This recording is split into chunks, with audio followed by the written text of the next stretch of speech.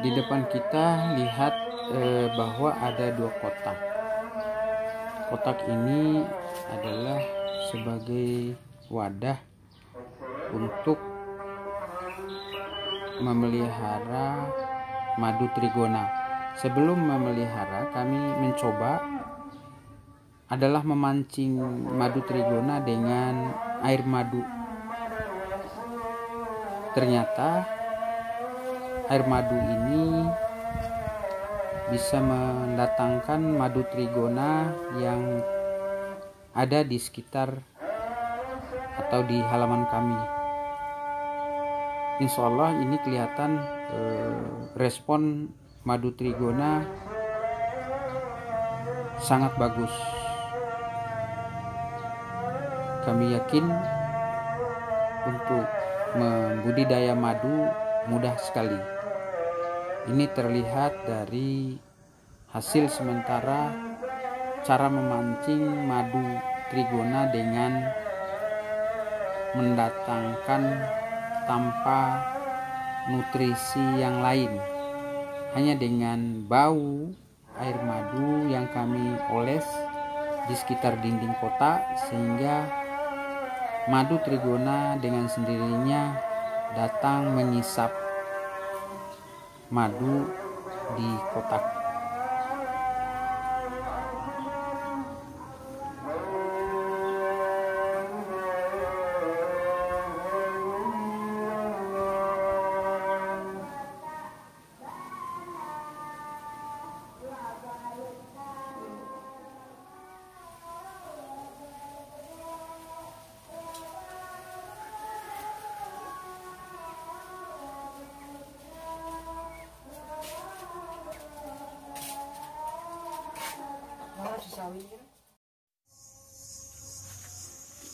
Selanjutnya kami tidak ada bosan-bosan mengambil video madu trigona yang sedang mencari nutrisi di dalam kota.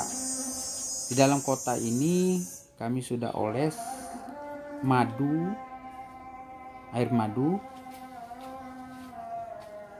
sebagai nutrisi madu trigona.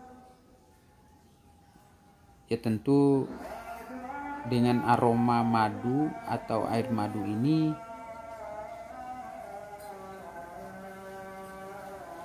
Trigona akan datang dengan sendirinya. Ya mudah-mudahan dengan cara ini ya bagi para penonton video ini bisa membudidayakan sendiri di rumah masing-masing bahwa cara memancing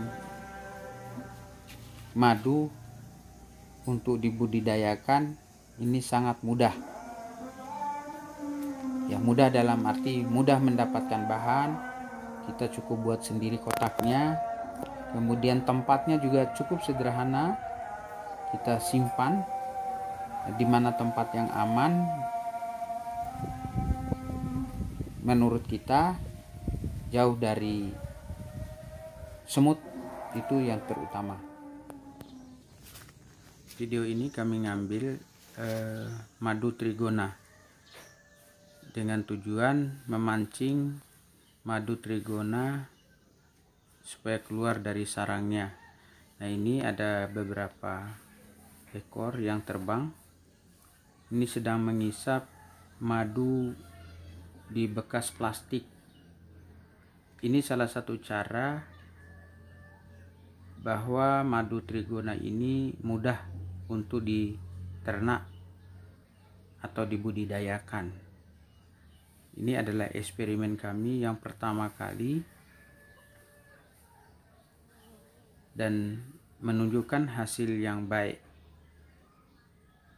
Ini bisa kita lihat ya dia sedang terbang ini ada beberapa ekor juga yang sedang mengisap madu uh, air madu bekas di plastik.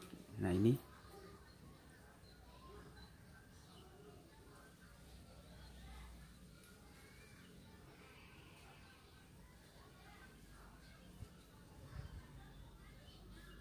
Ya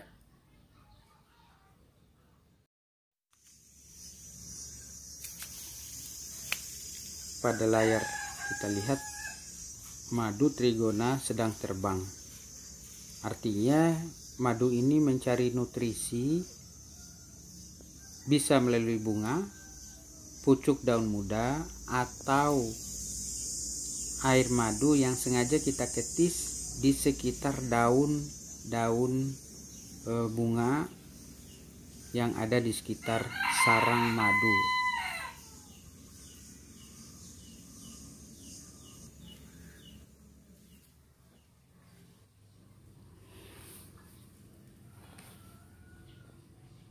Di layar kaca ini kita lihat madu trigona sedang berterbangan. Kita amati secara seksama madu ini memiliki insting tinggi dengan bau madu yang kami pancing ya pada kertas plastik ini madu trigona mencari di mana kami simpan sehingga dia datang. Ini jaraknya dengan sarang aslinya itu kurang lebih 3 meter.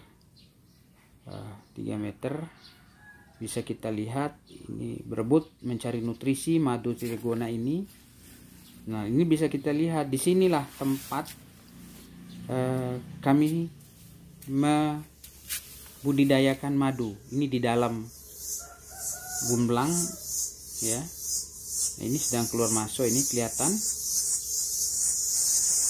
Di dalam ini sudah banyak madunya dan sarangnya pun juga ada